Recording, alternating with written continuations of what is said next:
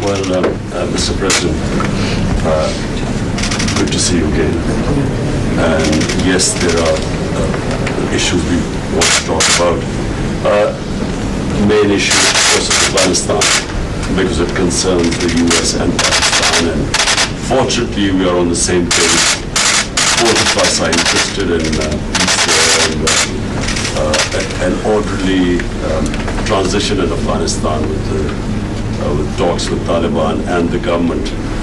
Uh, and also, of course, India, i- it is a, uh, it is a big issue for us in Pakistan. It's a big issue, and of course, we always uh, hope that the U.S. would play its part in uh, resolving it, because no no other country can.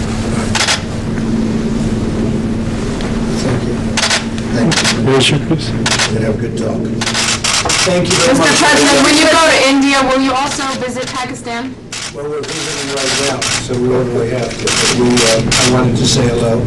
For both a relationship standpoint, we've had a great relationship, and from the uh, standpoint of our two countries, we're getting along very well. I would say we've never been closer with Pakistan than we are right now. And that's a big statement, although I wouldn't say at all times we were close as a country, but we are very close right now because of the relationship that we have.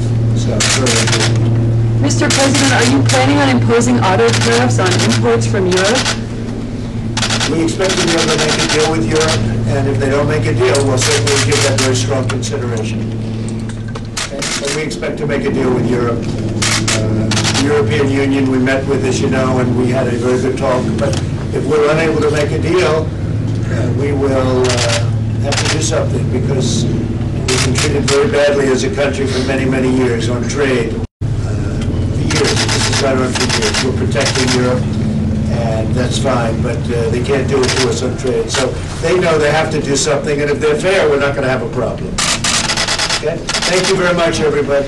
Yes, let's go. Come on, guys, quickly.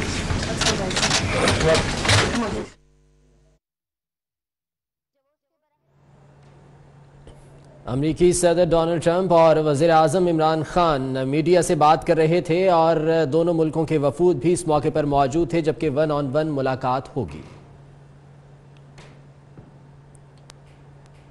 یہاں وقت ہے ایک break کا۔ دیگر خبریں اس break کے بعد۔ ہمارے سامنے۔ احتیاط علاج سے بہتر ہے۔